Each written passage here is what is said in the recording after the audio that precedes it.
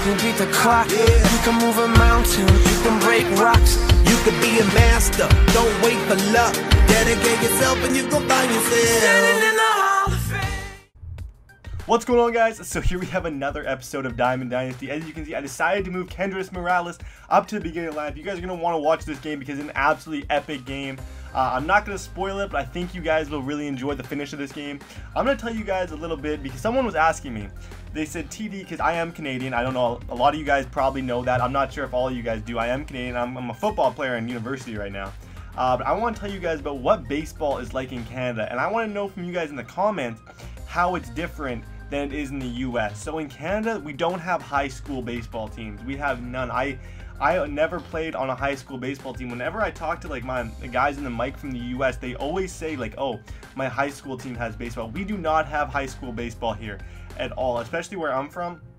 Uh, baseball's kind of big, but it's not as big as it is in uh, British Columbia and stuff. So we have a bunch of just leagues that are all like officially like totally away from the high school and there's A, double A and triple A and then midget triple A is the highest and we play all across all across the province. So that's kind of what how it's run and I'm going to talk a little bit about how competitive it is. So I think a lot of people assume uh, that just because we're Canadian that we're not good at baseball and you'd be moderately right. We're not as good as you guys at baseball. I wouldn't say we're bad, and we definitely have players that can play with you guys. It's just we don't get the same opportunities in the States as you guys do, um, just because you, we have to play international fees. So if you're bringing a Canadian, if you have a Canadian and American who are just as good to go play D1 baseball, or like they're gonna automatically take the American because it's a lot cheaper. Like you don't have to pay nearly as much. Like I played against. I'm gonna tell you a story about. I played against this MLB draft pick. I don't know if he's still in the MLB. His name is Chris Shaw. He got drafted to the Brewers, I think. I'm not sure if he's still doing anything.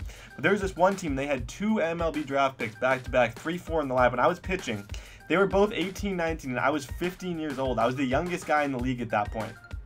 Like and all my my fastball was not very fast at the time. I think I was like I'm like six three and a bit now. I think at that point I was maybe five nine, uh, maybe 5'10", if I was lucky. And my fastball was not all that, like, I didn't have a lot of velocity. But I remember when I was younger, me and my friend, we developed a curveball in the backyard of his house. And I just started throwing this curveball super weird and like greasy. It was the weirdest thing.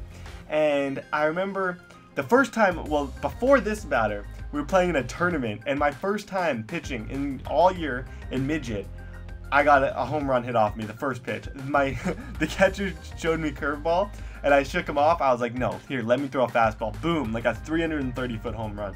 So as the season progressed, I just started chucking curveballs like crazy, and I realized this is my pitch. So that's why now that I'm like, now that I've switched positions over to receiver uh, here at the university, uh, I now I can I want to start pitching again. So I'm facing this guy his name is Chris Shaw. He's huge. He's massive. He's got muscle tone. I had no muscle tone. I was just a like a stick up there on the mound. I was scared. My baby face was even worse than it is now. If you guys, if that's even possible, I don't know if you guys even believe that that's possible, but it is. I did have a bigger baby face then, and I just threw him. The first pitch I threw him a fastball as a ball, and then I gave him three straight 12-6 curveballs and struck him out, and it was one of the best memories of my life because I remember his face after the last curveball was just he just looked at me and he was like, what was that? Because I slowed down my velocity so much. Like I'd take it from I don't I have no idea how much how hard I was throwing, but I'd say at least 20 miles per hour slower on my curveball, and it was just a looping curve. Like it would start up and then drop like a, a ton of distance. And I struck this guy out. It was a great feeling. Like I really really miss pitching. That's why in the show. Oh wait a minute. Kendrys Morales. Let me give that guy a shout out real quick. So I was down to nothing in this game. I'm to talk about the game a little bit. I'm done talking about Canadian baseball. I just want to hear about what baseball is like in the U.S. So make sure to let me know in the comments. And make sure to like this video too if you guys are enjoying it so far. So he there, he, he was up 2 nothing at one point. He had me, he had me 2 nothing. Now it is 4 to 2. I managed to get some runs aboard. And I think this year, Kendrys Morales, that batting stance and stuff is the most perfect thing I've ever seen. And I'm about to create my created player. I have not done it yet. I haven't created my the show created player. I'm about to do that right after I make this video and there'll be a video with him and his debut. And I am very excited. I'm definitely giving him the Morales batting stance or the Denard Span batting stance. He's got a nice batting stance here. So here in the top of inning number 9, Kris Bryant hits a hard ground ball the first. He does not double me up, however. But I don't really manage to get anything done. Ben Zobrist who had put it to pinch hit for the pitcher.